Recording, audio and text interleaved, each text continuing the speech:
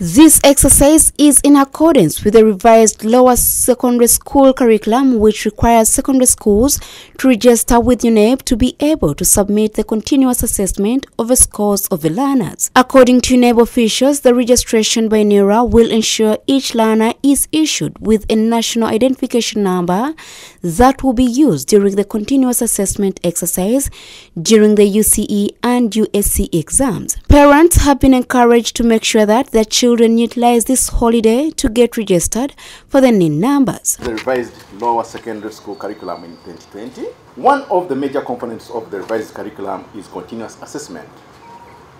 School, or equally called school-based assessment. The first cohort or group of learners of this curriculum is joining Senior 3 in 2023. Every subject in the curriculum has a component of continuous assessment, without which a learner shall not be graded in that subject by UNEB at the end of cycle, that is UCE. UNEB is required to uniquely identify learners during the process of continuous assessment, necessitating learners to have national identification numbers. Relatedly, secondary schools which will not have registered for CA, that is continuous assessment, will not be allowed by UNEB register their learners for the end of cycle examinations. According to UNEB, it is now mandatory for schools to be submitting the scores of each of the learners in their school exams to UNEB, starting with those in Senior 3 this year. This continuous assessment will be considered during the final UCE exams, meaning that any learner whose assessment was not submitted to UNEB risks missing UCE exams. Era nga national curriculum development center bwe yamala okutereeza mu nteekateeka eno mu 22 ekikulu kya byonna ekyalimu nti okuweereza obubonero bw'abayizi obubeera bugezeseddwa abasomesa kuyina okukolebwa abayizi kati abagenda mu sinia eyokusatu.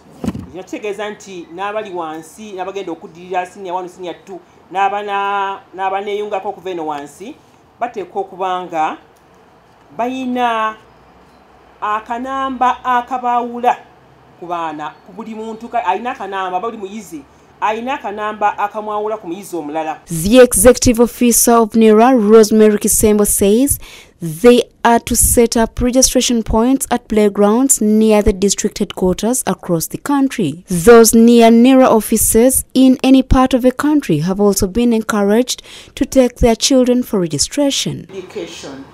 It is the unique number that will follow you right to your grave.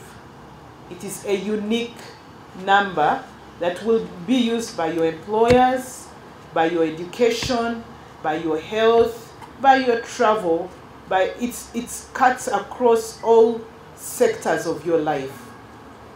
Take this, whole, this opportunity, this holiday, to register and obtain your NIN from the office that is nearest you. For the bigger districts, we shall be at the Boma grounds. For the smaller districts, we shall be at our NIRA offices. But Children below the age of 18 years are supposed to go with the photocopies of the national IDs of their caretakers to get registered. According to NIRA, the exercise is free of charge. It's free. We go on social media to report all sorts of things. You go and report the one who has asked you for money. Take a picture of them and report them go to the IGG and report them. In Africa, in our culture, we raise an alarm. Wa la la la la, raise an alarm. Raise an alarm, so and so is asking me for money. Don't be quiet about it. That's the only way we shall drive out this The UNEB Director for Technology and Reprographics said, whereas registration at NIRA ends by January 31st, UNEB will gather data for learners when the term opens.